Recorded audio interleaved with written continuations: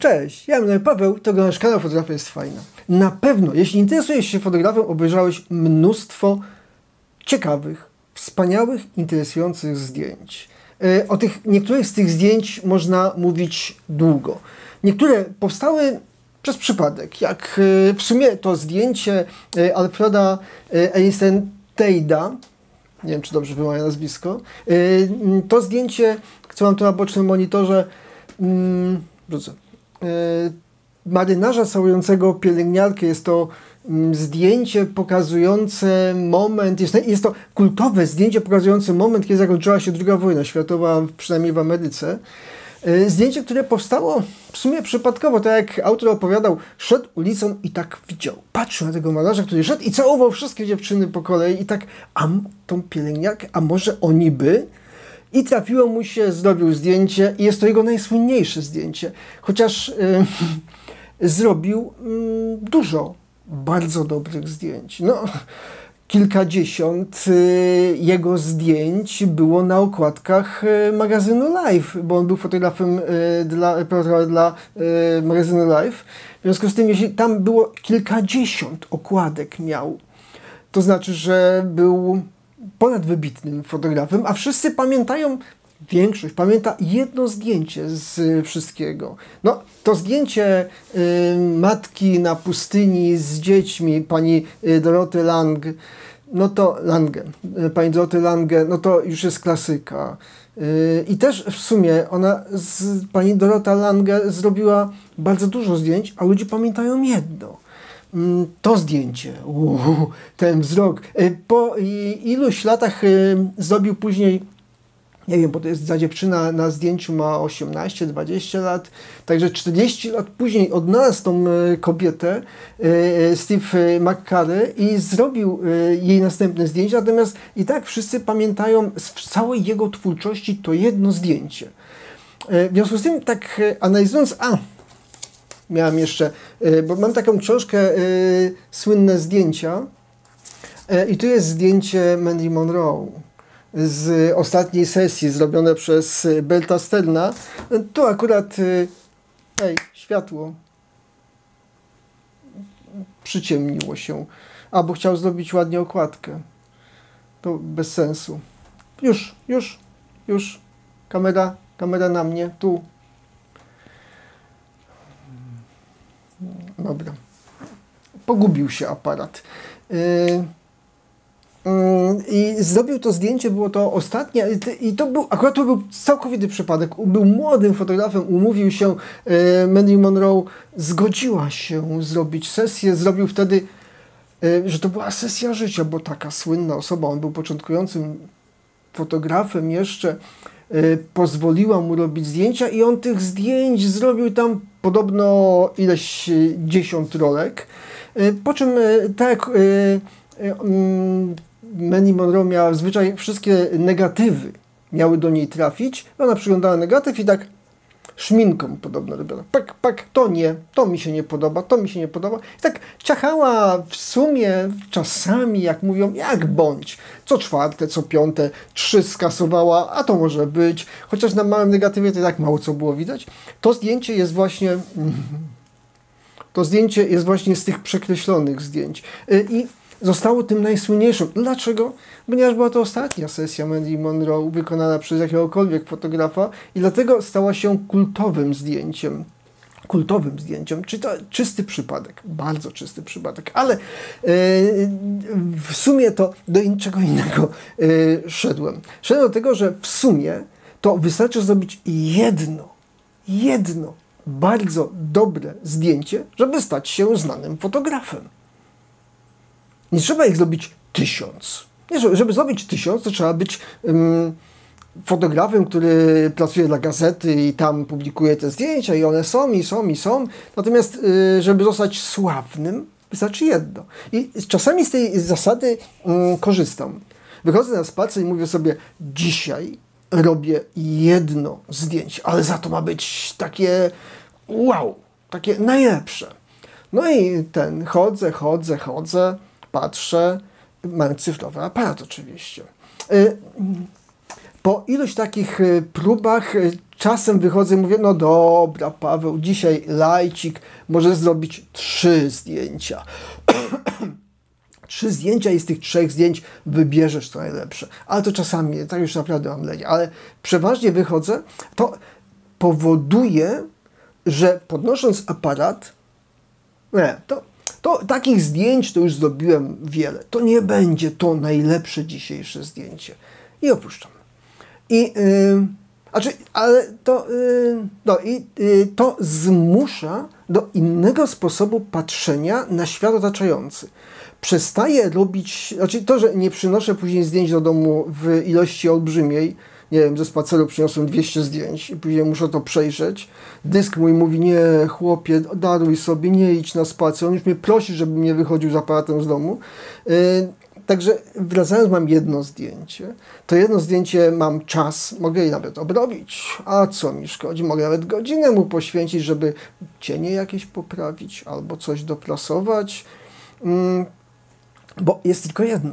Ale mm, najważniejszy jest sam proces fotografowania. Chodząc, ja y, bardzo dobrze zastanawiam się nad tym, y, czy to będzie to zdjęcie. Przypomina mi się. Mm, opowieść jednego z fotografów, o, żeby nie pomylić nazwisk, to pominę nazwisko, y, który wyszedł na zdjęcia y, z trzema, trzema negatywami szklanymi, no i cały dzień, ileś godzin fotografował, mając trzy negatywy.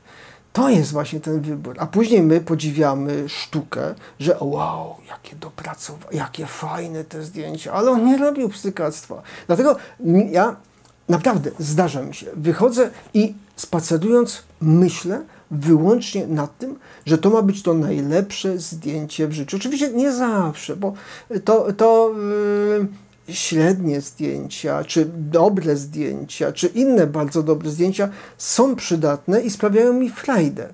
To jest, że czasami tylko wkręcam się w takie, takie zadanie do wykonania, że dziś jedno zdjęcie. No dobra, dziś trzy zdjęcia. Dziś, ale po całe, dziś jedno zdjęcie. I był taki spacer, kiedy poszliśmy z Rotą, też właśnie dzisiaj robię jedno zdjęcie. No i do mówię, dzisiaj dobre, tylko je, dzisiaj jedno zdjęcie dobre mnie interesuje, nic poza tym. No i tam robiliśmy zdjęcie, robiliśmy, w momencie to tak patrzy, a czemu nie robisz zdjęć? No bo ja już zdjęcie zrobiłem. Ja już teraz spaceruję, oglądam, podziwiam przyrodę, słucham ptaszków. To jeśli nie mam, nie robię zdjęć, to się inaczej ogląda. Yy, kadruję, przy, oglądam, mówię, to by było fajne, ale ja już mam to jedno najlepsze zdjęcie i mm, w momencie, kiedy nacisnąłem spust, wiedząc, że to jest to najlepsze zdjęcie, yy, to ja już go nie będę poprawiał, no bo już je zrobiłem.